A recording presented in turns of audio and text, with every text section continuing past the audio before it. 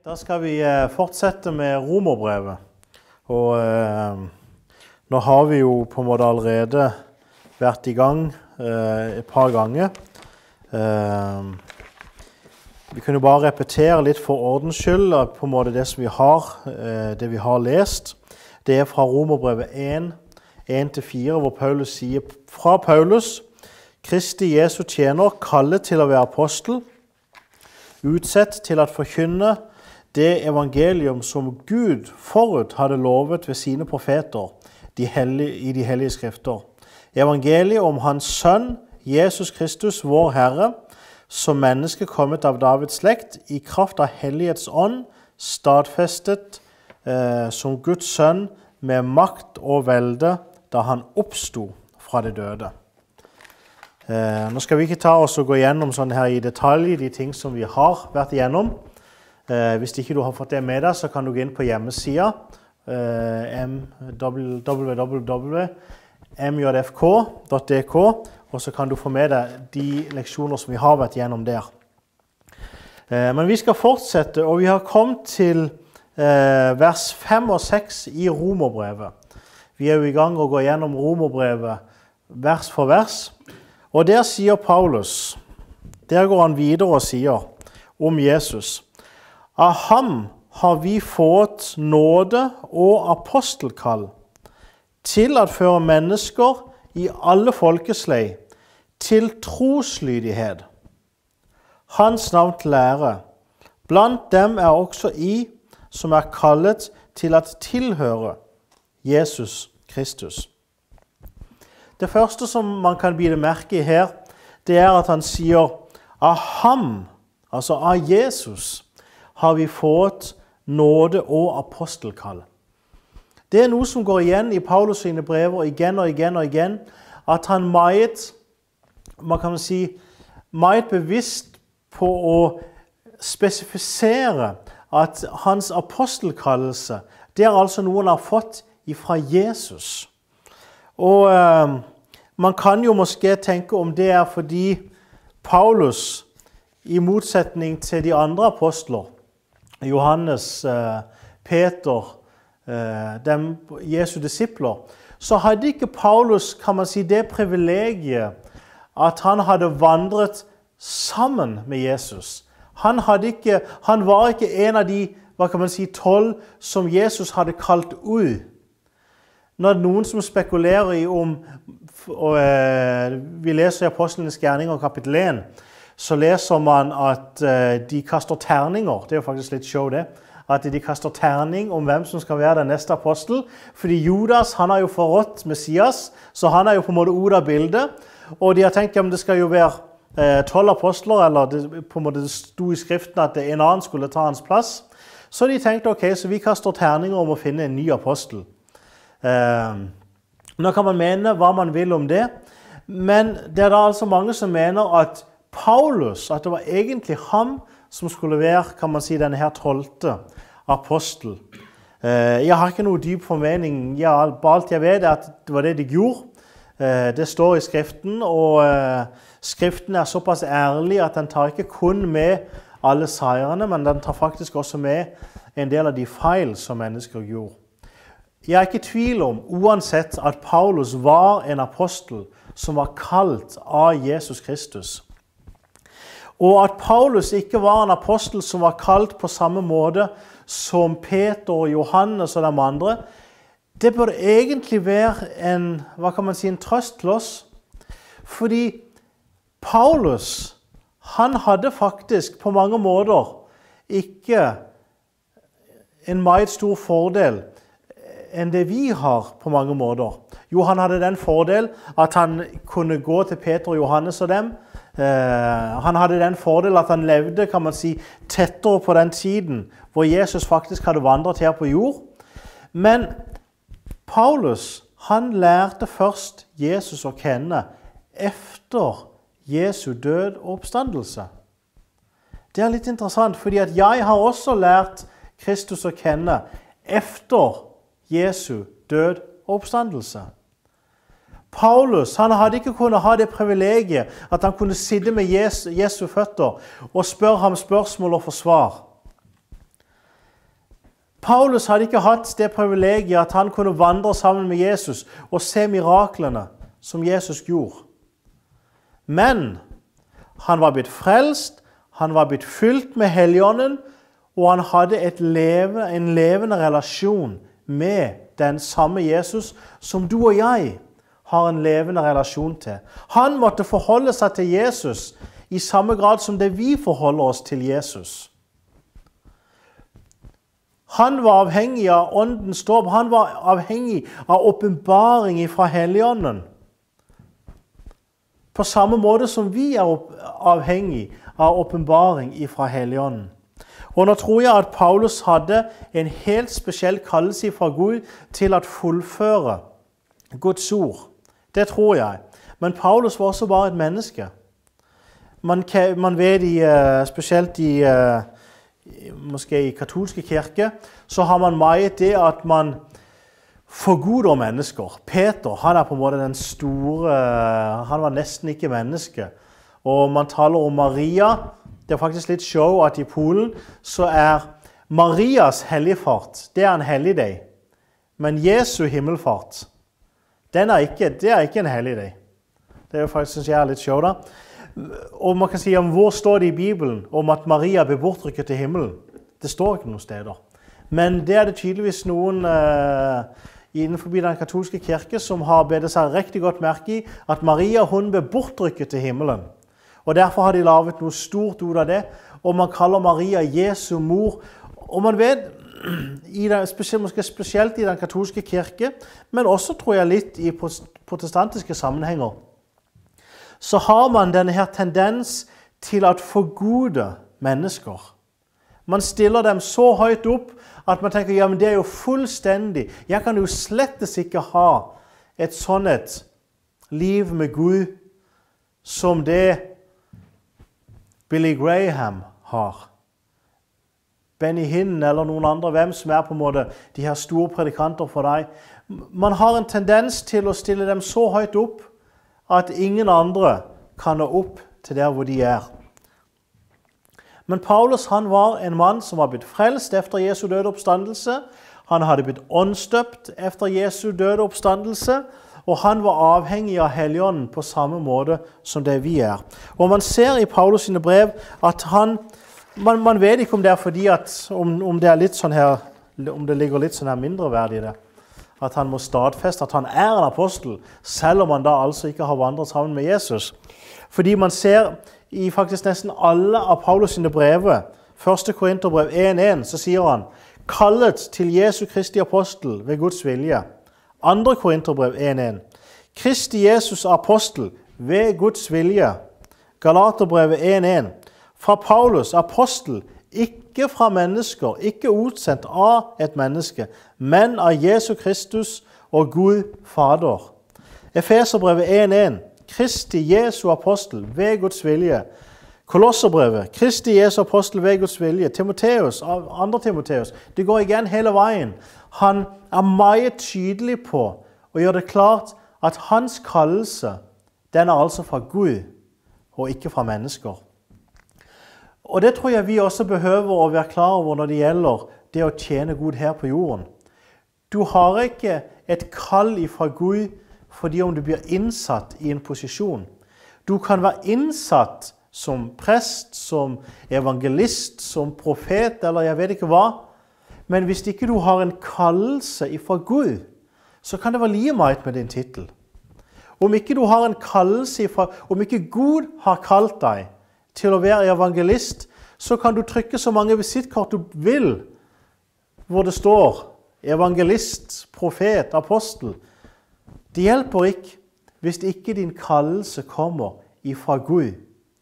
Og når din kallelse er fra Gud, så vil det være mennesker som anerkjenner den tjenesten. Vi mennesker vi føler at vi har et behov Hvis man føler ja, men Gud har kalt meg til å være evangelist, så kjemper vi for man, at andre mennesker virkelig skal forstå at jeg har altså et kall til å være evangelist. Ja, vi kommer til å møte forfølgelse, men har du et kall fra Gud, så vil Gud sørge for at det er mennesker som anerkjenner det du har. Det betyr ikke at alle kommer være, alle kommer til å elske deg. Tvert imot så sier Bibelen at vi kommer til å oppleve forfølgelse. Men har Gud gitt deg en kallelse, så vil han sørge for at det er mennesker som vil anerkjenne den kallelsen. Hvorfor? Fordi når Gud gir deg en kallelse, så gir han deg en kallelse ikke for din egen del, men for andre menneskers del. Og hvis ingen mennesker blir velsignet av din fantastiske profettjeneste, så har du god grunn til å stille et spørsmål. Har Gud virkelig kalt meg til den oppgave som jeg har? Hvis ingen mennesker drar nytte eller blir velsignet av det du gjør, så har du en god grunn til å stille deg selv spørsmålet Gjør jeg egentlig det Gud har kalt meg til at gjøre? Og Det er et viktig punkt som egentlig Paulus poengterer der faktisk i alle sine brever, at hans kallelse den er fra Jesus Kristus og ikke fra noen mennesker. Jeg er helt sikker på at det var mennesker som anerkjente Paulus som apostel. Jeg er helt sikker på at det var fra, når Paulus man kan si, når Paulus reiste ut på sin første misjonsreise, så vet vi at, de, at han og Barnabas var utsendt fra menigheten i Antiokia. Så man kan si på en eller annen måte så var han utsendt av mennesker. På, på en måte. Men han var ikke utsendt av mennesker fordi han hadde gitt seg selv et kall. Han var utsendt fordi Helligånden hadde lagt sin hånd på han og Barnabas og sagt I skal sende ut. Så selv om ja, det var mennesker som sto bak dem og sendte dem ut, så var de allikevel ikke utsendt av mennesker. I bunn og grunn så var de utsendt av Gud med velsignelse fra andre mennesker. Så har du et kall, har du en tjeneste, så er det ikke din tittel det kommer an på, men det har Gud kalt deg. Har Gud kalt deg, så vil det være mennesker som anerkjenner din tjeneste. Videre så går Paulus og så sier meget interessant Han sier at han har, eh, han har vi fått nåde og apostelkall til at føre mennesker i alle folkeslag til troslydighet. Og det er meget interessant kan man si, ord, spesielt i, eh, i dagens samfunn. Det her med troslydighet. Fordi man er meget hengt opp i det at dette her Jeg husker jeg har, eh, jeg har snakket med venner av meg som er kristne, og som ryr. Og så hvis jeg spør dem ja, men tror, de, tror, tror du at Jesus vil du skal rye, så sier de fleste selvfølgelig nei, det, det tror jeg ikke. De fleste av dem jeg kjenner, i hvert fall, de sier ja, nei, nei, selvfølgelig. Jeg vet jo godt at, eh, at Jesus vil jeg skal stoppe å rye. Men det er så svært, og jeg har prøvd å stoppe å rye, men det går simpelthen ikke.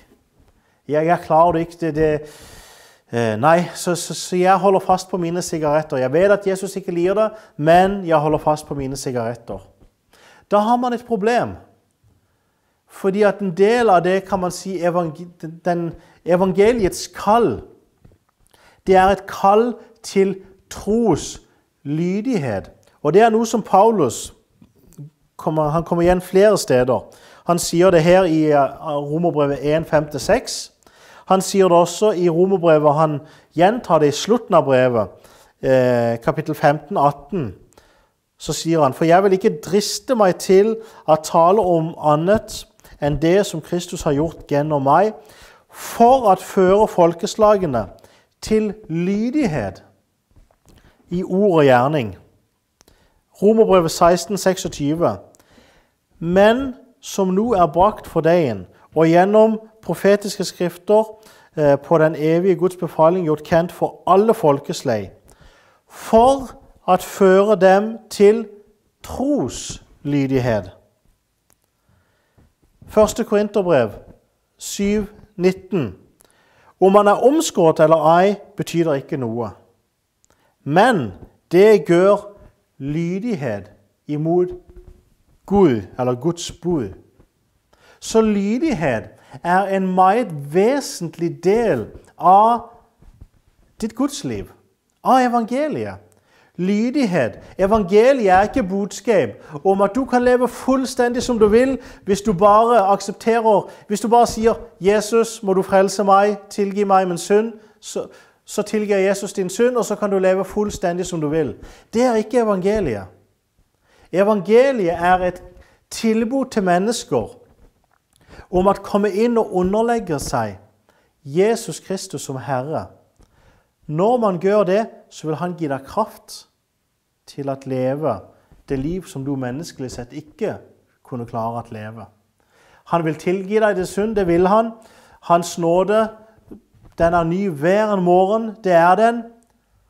Men når du leser Romerbrevet 10, 9 og 10, så står det at hvis du med ditt hjerte tror at Jesus eh, oppsto fra de døde, og med din munn bekjenner Jesus som Herre. Hva er det å bekjenne Jesus som Herre? Er det en sånn her tom frase? Jesus, du er Herre. Amen. Nå er jeg frelst. Nei, det å bekjenne Jesus som Herre er å bekjenne at det er Han som er sjefen i ditt liv. Det er faktisk meget interessant. Eh, Jesus i Johannes 14, vi kan lese. Eh, Johannes 14, vers 16 så sier Jesus, 'Elsker I meg, så holder I mine bud.' Elsker I meg, så holder I mine bud. Riktig mange mennesker som sliter med synd, som sliter med ting, som, som, på en måte har ting i sitt liv som ikke de på en måte vil vende seg bort ifra. Den egentlige grunnen er at man egentlig ikke elsker Gud. Men vi lever i et samfunn hvor man ikke kan man si, hvor man er så bange for dette her med å fordømme mennesker. Man skal ikke fordømme mennesker, men man skal forkynne Guds ord som sannhet. Jesus er meget tydelig på at det å holde hans bud og det å elske ham, det henger sammen. Han sier videre i 15 vers 10, så sier han, hvis de holder mine bud, vil de blive i min kjærlighet. Han sier ikke at hvis du bare bekjenner din synd og ellers lever som du vil, så vil du fortsatt være i min kjærlighet. Bare du bekjenner din synd. Nei, han sier hvis de holder mine bud, vil de blive i min kjærlighet. Hvis man går videre og leser vers 14, så sier Jesus, I er mine venner hvis de gjør hva jeg påbyr dere. Gud er ikke en sånn her uh, candyfloss på en måte som du sukker Gud er kjærlighet, han elsker mennesker, han har kjærlighet til alle mennesker. Men han er altså Gud. Han er den allmektige skaper av himmel og jord. Og han har krav på vår lydighet. Han har krav på at vi skal på, på at vi på en måte adlyder Hans ord. Og det han ønsker, det er ikke at vi skal adlyde Hans ord kan man si, som en slags roboter. Nei, det han ønsker, det er mennesker som har troslydighet, som velger å si 'Jesus, jeg underlegger meg ditt herredømme'. Jeg vet at din vilje for mitt liv, det er den beste. Jeg vet at du kun ønsker meg godt. Jeg underlegger meg din vilje for mitt liv. Og så blir det Jesus som blir sjefen i vårt liv. Det er troslydighet.